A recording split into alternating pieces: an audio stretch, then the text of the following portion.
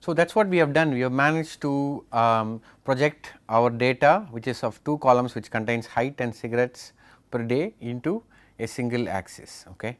So, you can think of it as some combination of height and cigarettes. Okay.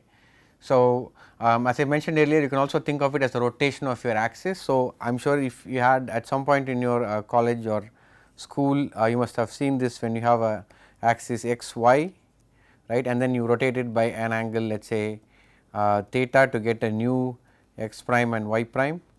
It would then be possible to express x prime and y prime each of them as combinations of x and y.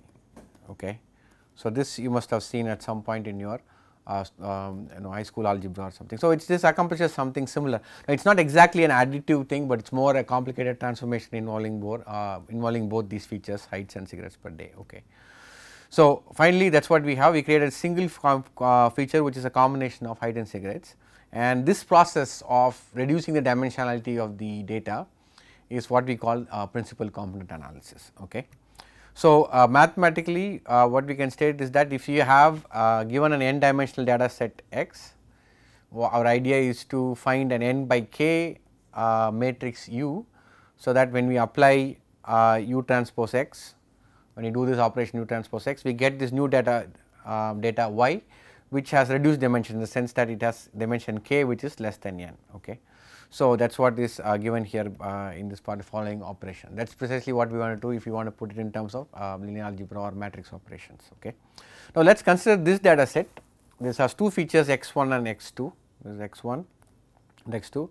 Now, visually we can see that you know that a lot of the information is along one axis right it is along the axis here shown by the black arrow. So, which means that this axis has the maximum variance if you can construct this axis as a maximum variance and we have another axis which is uh, in this case it is orthogonal to this it is at 90 degrees it is orthogonal to this current axis I have drawn and orthogonal to that axis the variation is very small or the variance along the other axis is very small. So, if you project your data along this axis the one we first drew the axis that we first drew uh, then you could be able to capture most of the information because the variance is highest in this direction and the other direction that we uh, that we uh, consider is the uh, direction orthogonal to the axis that we have presented and that the uh, variation along the direction is much lower. Okay. So, this is the idea behind doing principal component analysis. Okay. So, uh, what do you need for that? We need two things, we need the direction of these axes. Okay. When I say direction is like we need this vector, this, this vector we need to know okay. and we need to know the length of the vector because the length of the vector helps us to determine whether the variance is high in this direction or not. Okay. The larger the length the more the variance along that direction and similarly we need to know the length and direction of the other vector. So, uh, that is what uh, principal component analysis helps us determine. Okay. So, how do we do this accomplish it uh, in, we will not go through the actual algorithm for determining this, okay. Uh, but what we can do is show, uh, show, show the what the process does. Um, so, this uh, principal component analysis is accomplished using what is known as singular value decomposition. There is a mistake there it is usually called singular value decomposition not single value. Um, it is a matrix factorization method uh, normally used for principal co uh, component analysis and it does not require a square data set. Okay. So, it does not your matrix need not be a square matrix and uh, it is used in this Python package scikit-learn for PCA even MATLAB has a command SVD which helps you do singular value decomposition for non square matrices. So, this has um, 5 uh, in this case in this case a m by n matrix m is 5 m rows and 3 columns. So, this is the number of features.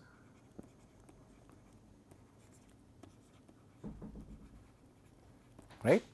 So, what singular value decomposition does is to factorize this matrix into a product of 3 matrices. This is called the uh, left singular vector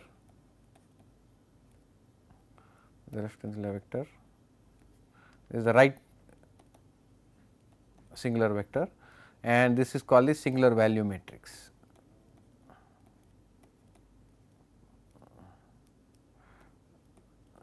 So, if you uh, do this on a square matrix, so what you will get are uh, the singular value matrix is nothing but the eigen values, the is the diagonal matrix of eigen values and the left and right singular vectors are nothing but the eigenvector uh, matrix of eigenvectors. Okay.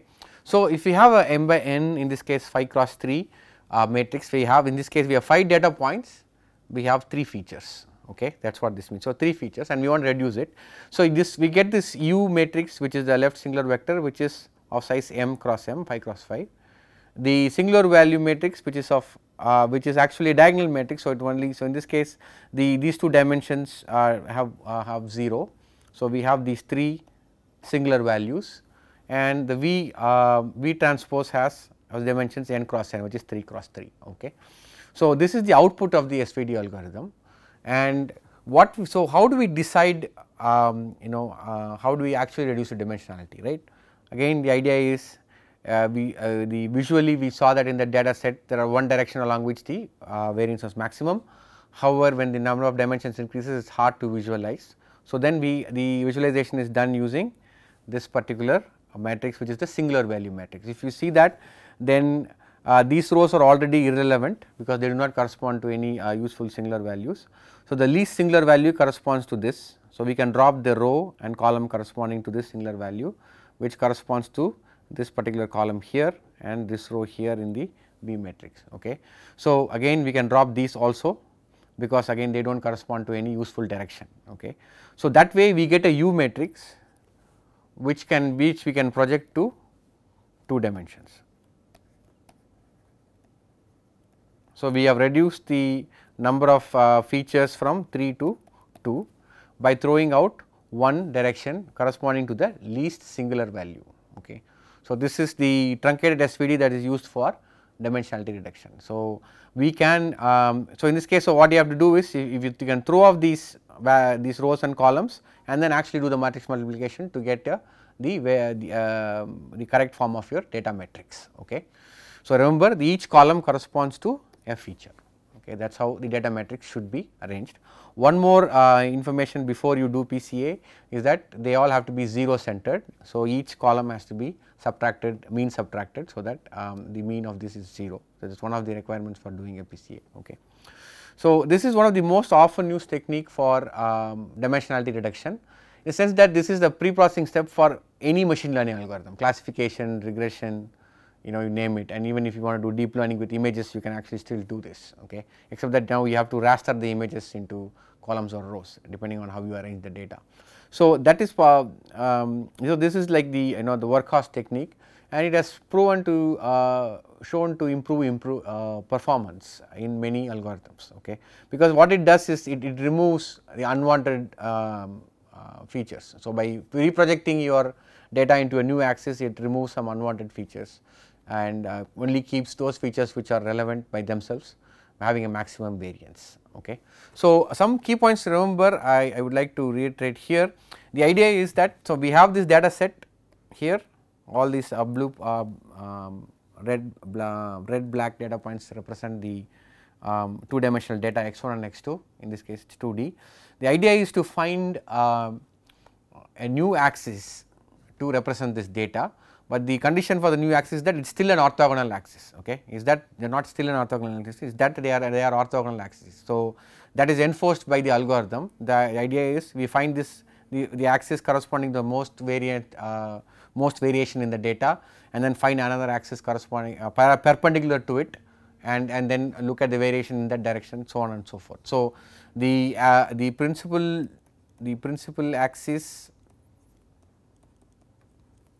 or orthogonal is very important.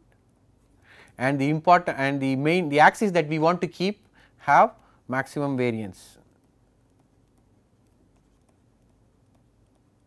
along that direction okay? These are the key points that we have to remember. And the way this is accomplished is by doing SVD and since there are in, in the case of more than 2 or 3 dimensions the best way to figure out which axis has the most variance is to look at the singular value matrix okay a singular value matrix the you can keep the first k significant terms um, so that uh, you, you, you can project such that k less than n where n is the um, the original dimensionality of your data. Okay.